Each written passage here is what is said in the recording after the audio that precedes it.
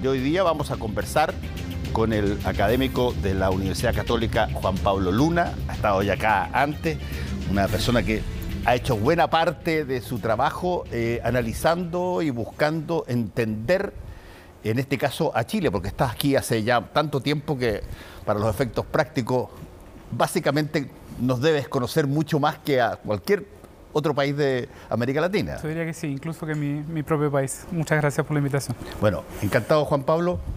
Déjame eh, partir por una frase bien eh, polémica que tú dijiste y que dice el plebiscito de salida terminó el gobierno del presidente Boric como el presidente Boric había concebido probablemente que iba a ser. Tal cual, para agregarte el, la, la, la, frase completa, tal cual como el plebiscito de entrada hizo parar y terminar en términos factuales el gobierno del expresidente Piñera como él probablemente le hubiese gustado terminar. Sí, yo creo que eh, parte de lo que hemos visto estos, estas últimas semanas tiene que ver con eso. ¿no? Eh, me parece que luego de un shock inicial respecto al, al, resultado del plebiscito, eh, hemos visto un gobierno que yo diría han pasado tres cosas. ¿no? Este, por un lado asumió que tiene que gobernar un país que, que, es muy diferente al país que se imaginaba gobernar. ¿no? y creo que está conociendo, ha conocido, ha tenido que eh, darse contra ese país en, un primer semestre de gobierno muy, eh, muy difícil.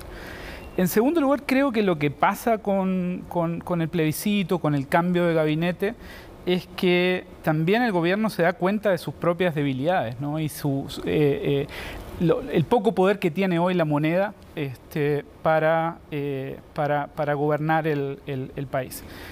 Y en tercer lugar, me parece, y esto tiene que ver probablemente con eh, lo que hemos visto en términos de reforma, eh, la propuesta de reforma de pensiones, la ida a la Araucanía, eh, el discurso del presidente en, el encuentro, en, el encuentro, de la industria el, otro día, un, un, cambio de tono que tiene que ver con sincerar esas limitaciones y abrir la puerta a eh, gobernar eh, buscando consensos y buscando, digamos, este, transformaciones posibles, dada la correlación de fuerzas, dado el desorden enorme que hay en el Congreso, ¿no? Eh, y dados los problemas que el país tiene hoy. ¿no? Y en ese sentido, ese es el sentido que, yo le daría a la frase. O sea, lo, que, lo que termina es una fase de instalación fallida que eh, digamos, y, hay que relanzar el gobierno y me parece que es lo que hemos visto en estas últimas semanas. Juan Pablo, eh, déjame planteártelo desde, desde el punto de, vista de incluso una, frase que creo que fue el propio presidente o, la gente de su coalición que lo planteó. ¿Tú adviertes que aquí lo que hay es una ralentización de aquello que se quería hacer, quizás haciéndolo en términos graduales o de otra forma, o va a ser necesario cambiar cosas que se pretendía hacer porque no se van a poder hacer. O sea, yo creo que hay que eh, hay, una mayor gradualidad, por ejemplo, digamos que, que, me parece que es, eh, es, eh, es evidente, ¿no? En términos de eh, la rapidez de las transformaciones, tal vez la profundidad de las, de las, transformaciones también. Hay temas emergentes, como el tema de la seguridad, digamos que era un tema que eh, estaba planteado en otros términos o no estaba pensado de la manera como, está teniendo que ser gestionado hoy. Pero yo diría que también hay, hay, márgenes para que este gobierno genere un sello propio, ¿no? Por ejemplo, digamos, uno puede atender a la emergencia social o a los problemas sociales eh, con bonos, ¿sí? como se ha hecho hasta ahora, digamos, en, este ciclo largo de gobiernos eh, desde la transición, o puede eventualmente eh, sentar las bases para un régimen de cuidado y protección social más universalista. Para otro modelo. Tal vez eso no sea, digamos, eh, todo lo ambicioso que se pensó, tal vez eso no tenga los alcances a corto plazo que, eh, eh, que se hayan pensado en el, en el, programa, pero me parece que hay espacio, ¿sí? más allá de la gradualidad, más allá de la moderación y de la ralentización, ¿sí? de introducir lógicas de política pública, de construcción de bienes comunes y bienes públicos, eh, que estaban en el programa de gobierno y que creo que pueden ser implementados eh, con, desde esta nueva perspectiva también y desde esta nueva situación estratégica que el gobierno tiene hoy. Ahora, eso que tú estás diciendo, eh, ¿cómo se compadece con otra cosa que también planteaste y que me parece súper interesante? cuando tú dices, mira, estamos enfrentando a una ciudadanía en Chile que tiene súper claro lo que no le gusta y no tiene ninguna idea clara de cómo llegar a lo que le gusta o quién puede traerte lo que le gusta. Sí, o sea, lo que tenemos en, Chile y yo diría en buena parte de las democracias liberales hoy, ¿sí? Eh, es eh, una incapacidad de vertebrar y articular demandas y de comprar tiempo por parte de la clase política. Gobernar de alguna manera es comprar tiempo, ¿no? Es, este, es decirle a la ciudadanía, eh, tú estás jodido y estás acá, eh, yo te quiero llevar allá, pero para eso necesitamos tiempo, ¿no? Y recursos y, un proceso, ¿no? Y, parte, digamos, de lo que le ha pasado y lo que le pasa a los gobiernos actuales es que la capacidad de estructurar el tiempo y con eso eh, mantener la legitimidad, la popularidad, para hacer los cambios que hagan ese tránsito, se ha comprimido. Eh, y esa compresión tiene que ver con dos cuestiones. Digamos. Por un lado, eh, demandas que son mucho más inmediatas y que donde, donde la paciencia de la ciudadanía es menor. Y por otro lado, demandas que han se han fragmentado en términos exponenciales y es más difícil de representar por parte del, sistema político. Por eso yo siempre argumenté de alguna manera que eh, parte de lo que del problema constituyente eh, o, yo diría lo fundamental del problema constituyente no era tanto el diseño institucional, no era tanto encontrar el texto, sino eh, de alguna forma reconstituir legitimidad. y tratar de avanzar eh, en un proceso en el cual eh, la élite política, los líderes políticos logren, digamos, restablecer eh, canales de vinculación con la ciudadanía que hoy no tienen, para justamente hacer ese trabajo de representación.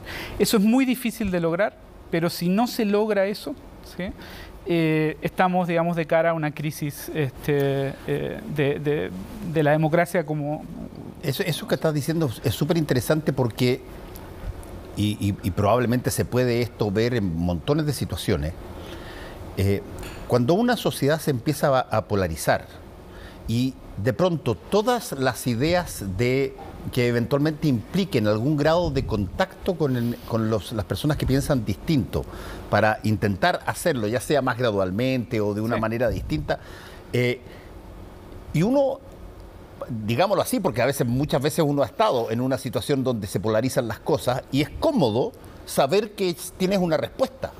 Sí. No, o sí, punto. Y no tengo por qué darte más explicaciones porque eso es lo que creo, eso es lo que pienso, así que ya, chao. Cuando tú empiezas a llegar a eso, se te hace muy, muy difícil volver a, de alguna manera a tejer ese, ese telar que te permite pasar de un punto A a punto B. De acuerdo, y yo creo que en ese sentido nosotros estamos hoy en Chile en una viviendo, digamos, o pasando por una ventana de oportunidad que probablemente sea muy corta, eh, en la cual eventualmente se puede dar eh, escapar un poco esa lógica de polarización que, nos has traído hasta acá. Eh, por un lado tenemos una nueva élite gobernante que eh, venía de la impugnación y que no había tenido, digamos, una experiencia de gobierno como el resto de los actores del sistema, hoy la tiene y la ha sufrido.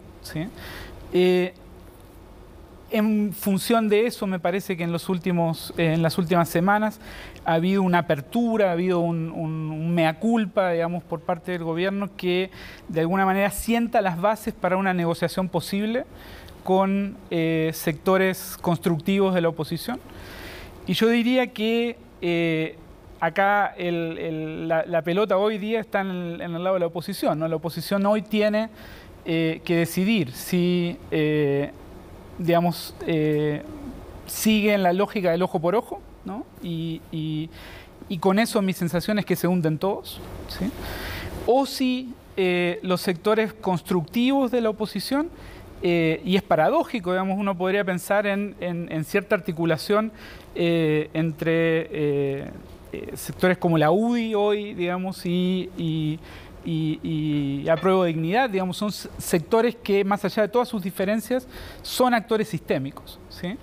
Eh, y me parece que la amenaza de otros actores que juegan fuera del sistema, que amenazan con barrera el sistema político tradicional y que hoy han ganado espacio en, el Congreso, por ejemplo, este, tanto en el centro, el PDG, como en la derecha, eh, el Partido Republicano, esa amenaza de esos sectores podría incentivar que eh, los sectores más sistémicos de, de la oposición eh, le hagan juego al gobierno y, podamos salir este, caminando de esta situación de polarización. Eh, si priman los dilemas de acción colectiva, si priman, digamos, los, eh, los shows de stand-up y las guitarras, me parece que ahí se hunden todos. Sí, me, recordó lo que tú hablaste del ojo por ojo, esa frase de Mahatma Gandhi que decía ojo por ojo y terminamos todos quedando ciegos. Sí. Eh, ahora, tú te refieres al ojo por ojo en el sentido de, bueno, las oposiciones de turno, eh, más que hacer un eh, ejercicio de contención en determinadas maneras o de visualizar alternativas, tratar de proponer cosas, básicamente generan, llamarlos, si, si se pudiera llamarlo así para ponerlo fuerte, políticas de revancha.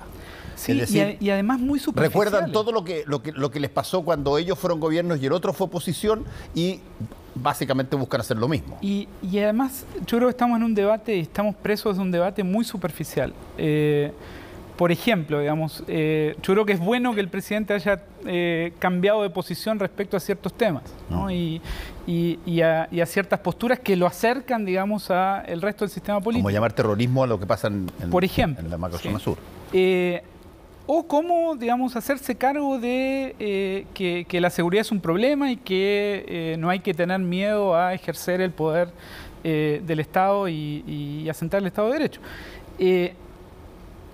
Y todo lo que cuando todo lo que se responde es bueno, tiene que explicar por qué cambió de, opinión, y si no cambia de opinión, el problema es que no, que tiene una opinión que no nos gusta, y ese es el debate. ¿sí? Eh, estamos presos, digamos, de, eh, un show que eventualmente renta a corto plazo eh, en términos de, figuración pública, de popularidad en las encuestas, pero que me parece que, de nuevo, les, juegan contra todos y van a quedar todos ciegos. y eso lo hemos visto en el resto de América Latina. Eh, y Chile ya ha mostrado que no es excepcional en, muchos respectos, tampoco lo es en este sentido. Entonces están jugando con fuego, me parece. Ahora, desde ese punto de vista, Juan Pablo, eh, ¿cuáles son, por ejemplo, los potenciales mecanismos de salida de una situación donde tú te ves comprimido a tomar posiciones extremas? Mira, yo creo que lo... Eh, para mí la, única salida posible eh, hoy eh, tiene que ver con, articular diálogos, pero diálogos, digamos, eh, vinculantes, ¿no? este, negociaciones vinculantes entre sectores sociales, no solo políticos, ¿sí? Que empiecen, digamos, a eh, empujar una agenda de reformas y una, y una visión de futuro, digamos, que, que, nos entusiasme. A mí me, eh, eh, el, repunte, por ejemplo, del, del presidente en las encuestas estos días me parece que tiene que ver con eh, más allá de las interpretaciones que hay, si es porque se mandó la, reforma de pensiones, si es el viaje de Araucanía, me parece que lo que tiene que ver ahí es, eh, bueno, acá hay un, cierto sentido de que vamos hacia algún lugar, de que cambió un poquito la pisada y que hay algún este, futuro posible, este, en, un, con un trasfondo donde venimos de 3, 4 años, donde eh, el futuro se ve cada vez peor.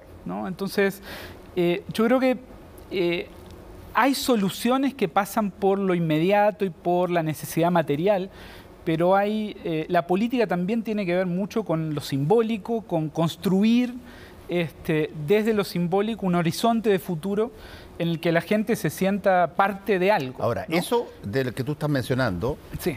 lo podemos entender, si tú quieres, desde el punto de vista de lo que podríamos denominar la, la, comunicación política que se produce. Pero yo te quiero agregar una variable que no es de comunicación política, es de comunicación biológica que es cuando tú tienes una situación donde, aparte de estar polarizado por razones políticas, tienes problemas generacionales serios.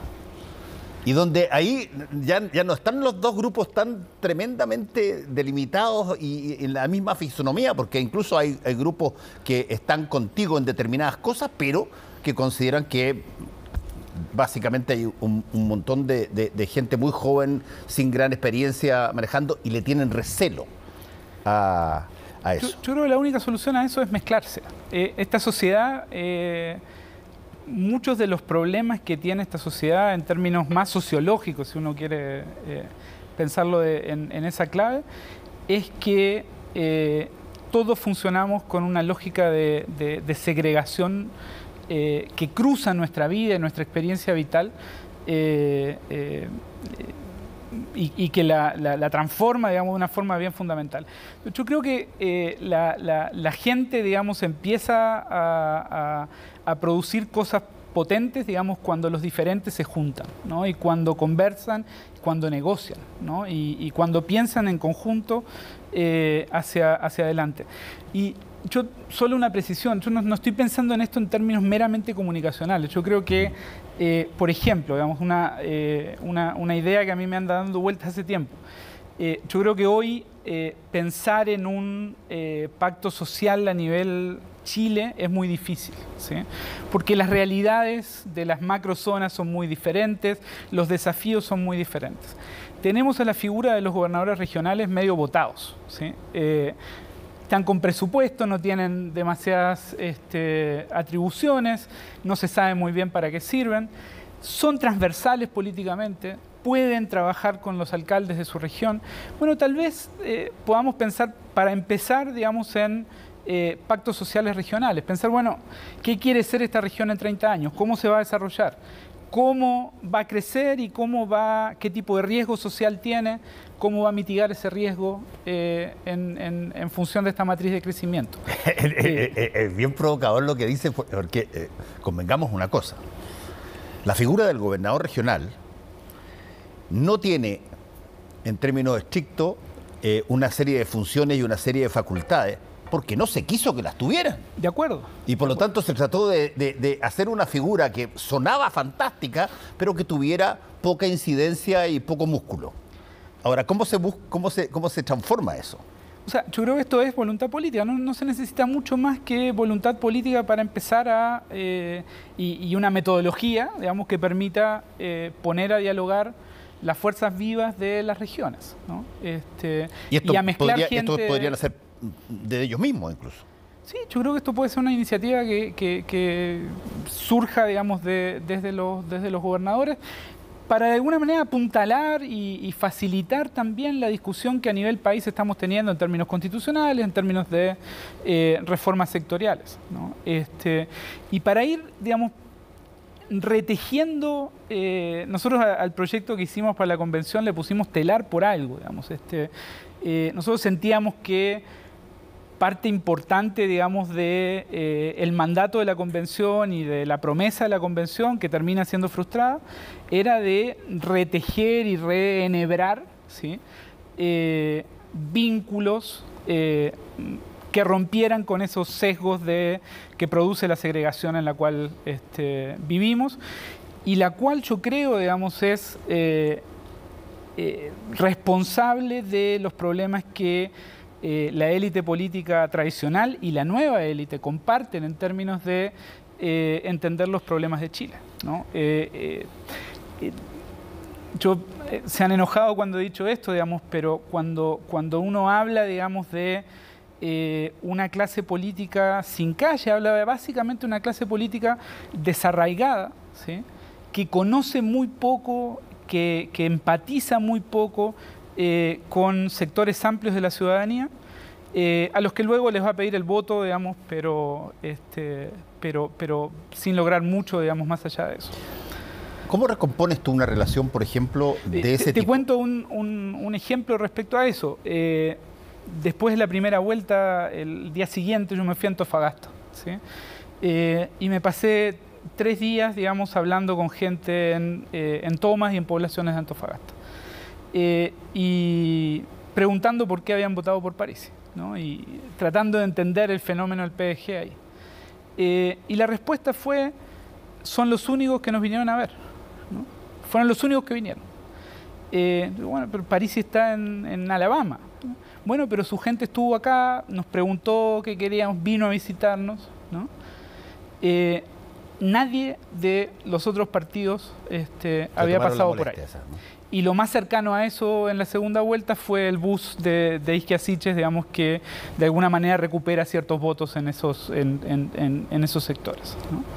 Ahora, eso que tú estás diciendo, de alguna manera te señala, a ver, la gente tiene ganas de participar, pero necesita eh, que de alguna manera eh, se produzca esto que el, célebre escritor eh, estadounidense Cass Sunstein llamaba nudge, el empujoncito.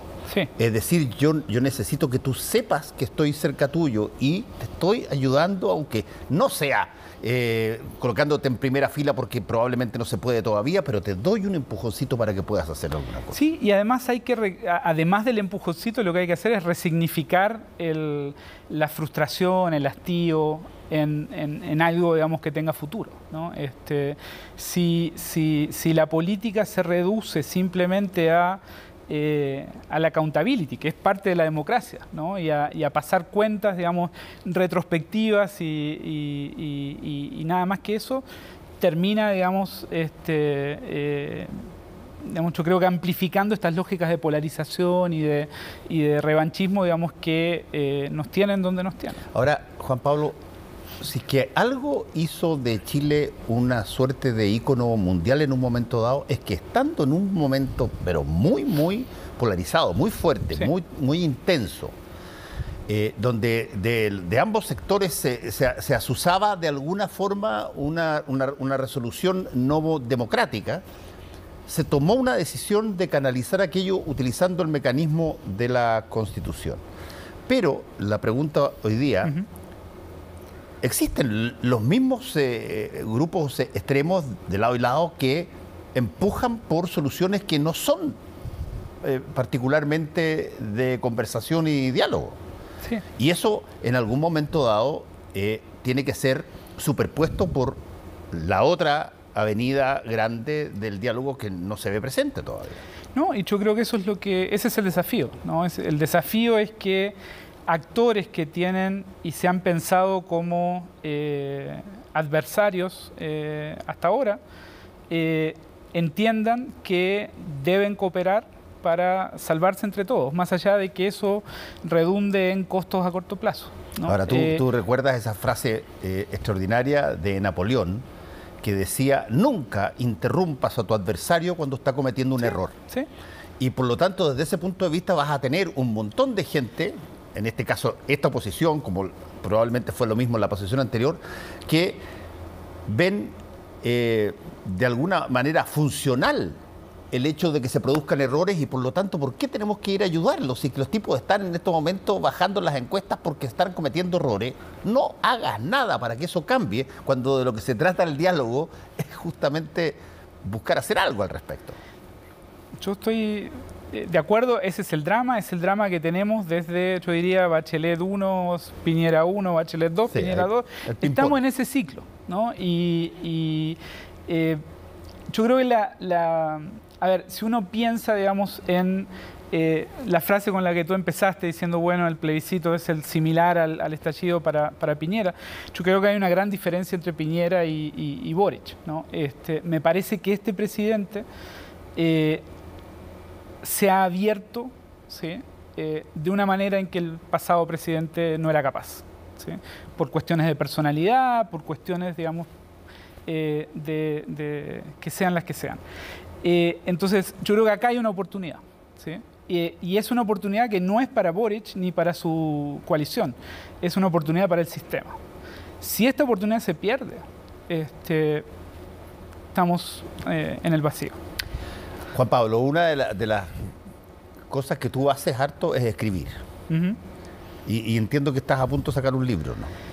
Es, el, libro acaba de salir en, Estados Unidos. Este es un, libro de texto sobre la democracia en América Latina. O sea, eh, eh, eh, investigas varios países. Sí, es, es, con, está escrito con un coautor, con Gerardo Munk, este, de la Universidad de Carolina del Sur. Y lo que hacemos es, desde la colonia o precolonia hasta nuestros días, analizar eh, la situación política de, América Latina. Tomamos 23 países eh, y vamos tomando temas eh, a lo largo del libro. sí, ahí este, está, está, mostrándose en la, en la, pantalla. Todavía no está, no está en español, está, está solamente en inglés y es un libro que está hecho para enseñar, pero que puede ser interesante para quien quiera entender, digamos, como a largo plazo y algunos de los problemas estructurales de, la región. Y Juan Pablo, una pregunta que yo hago mucho para terminar las entrevistas, pero me interesa eh, la, posición de, las personas cuando vienen acá después de conversar este tipo de temas. Eh, es si es que tú adviertes que, da para pensar optimistamente en, las cosas más adelante o todavía no está lo suficientemente claro si esto puede terminar a los chupazos. O sea, yo creo que estamos en una situación bastante límite. Eh, no solo por los temas que hemos, que hemos eh, discutido, también por otras situaciones que tienen que ver, por ejemplo, con el, avance del crimen organizado, que esto también es una dinámica regional, pero el peso de la economía ilegal eh, respecto a la economía legal, hoy en América Latina eh, está siendo cada vez más significativo y eso tiene una capacidad de compra de la institucionalidad, de corrupción de la institucionalidad, de generar dinámicas de violencia eh, que creo que son eh, hoy un problema central para la región. Eh, entonces, más allá de los problemas, Chile tiene ese problema este, que se nos vino fuerte y al mismo tiempo tiene que solucionar esta crisis política que en mi impresión, digamos, para, sintetizarlo, yo eh, creo que eh, no tenemos las protestas en la calle, eh, no está, digamos, la, moneda asediada hoy, pero la situación no es muy diferente a la del 15 de noviembre del, 2019 en términos de el nivel de desafío y el nivel de riesgo que el sistema político tiene todavía. Y, y las elecciones pendulares que se han dado en eh, América Latina, por ejemplo, tú que sigues muy, muy de cerca ese paso, ¿no te, ¿no te da a ti una señal de que, mira, cuando el péndulo es el que manda y por lo tanto escogemos a uno de acá eh, hoy y después escogemos su opuesto, eh, bueno, hay algo ahí de, una ansiedad que no tiene que ver con reflexión, ¿no? Sí, no, y además eh, no, no solo tenemos el péndulo, sino que tenemos cada vez más, y esto no es solo de Chile, o sea, lunas de miel más acotadas. Esto tiene que ver con esto de la compresión temporal, ¿no? Los gobiernos tienen mucho menos tiempo para, para gobernar tienen estados más, más, débiles, relacionalmente más débiles respecto a estas dinámicas de ilegalidad, de informalidad, eh, eh, etcétera. Y eso hace que eh, estos gobiernos sean bastante incapaces de cambiar la realidad de la gente. Y esto termina generando lo que vemos en las encuestas de opinión pública hoy en América Latina, es que la gente sigue muy fielmente valorando la democracia como sistema ideal, pero al mismo tiempo está cada vez más insatisfecha con el tipo de democracia que tiene en su país. Este es un gap que se ha ido abriendo en los últimos años y que no solo tiene que ver con, eh, con, este péndulo, sino que tiene que ver con la incapacidad de cambiar realidades. Y de, eh, entonces, mientras hubo crecimiento económico con el commodity boom, con el precio digamos, de las materias primas, hasta el 2015 más o menos la región anduvo eh, un poquito más estable, con más satisfacción, cuando eso topa, digamos, con este, eh, el frenazo, digamos, que, se empieza a dar en esos años, eh, la situación política se empieza a complicar y la insatisfacción ciudadana empieza a crecer. ¿Y no, no sería quizás eh, momento, si tú quieres, para hacer políticas contracíclicas, digamos, tal cual como históricamente Keynes eh, proponía cuando las cosas están difíciles, etcétera, bueno, que el, gobierno empiece a tomar eh, eh, situaciones más más eh, potentes en materia de infraestructura, en materia de cosas, cosas que se vean para que la gente, entre otras cosas, vea que hay un y, cambio. Y hay otro componente, o sea, yo, y, acá, digamos, eh, los economistas me van a matar, digamos, porque eh, hay, acá, digamos, como una, una, una eh, ortodoxia muy fuerte, digamos, en términos de, del balance fiscal, y está bien. pero en un mundo tan desordenado, ¿sí? en términos fiscales, ¿sí? Chile tenía oportunidad de tomar un poquito de deuda y este, hacer política contracíclica. ¿no? Eh, está, digamos, toda la presión inflacionaria que eso genera y, obviamente estamos peleando contra, contra la inflación. Pero yo creo que eh, vinculando esto último, digamos, que, que, tú planteabas a lo de los, los planes de, o los pactos sociales regionales, tal vez pase por ahí, ¿no? O sea, empezar a este, decidir colectivamente, digamos, en función de eh, una dinámica más participativa, proyectos que nos entusiasmen y que nos den sentido de futuro. Eh, y tal vez, digamos, eso también opere en, cierto sentido contracíclico. Juan Pablo Luna, muchas gracias por eh, haber estado una vez más acá con nosotros. Un placer. Que te vaya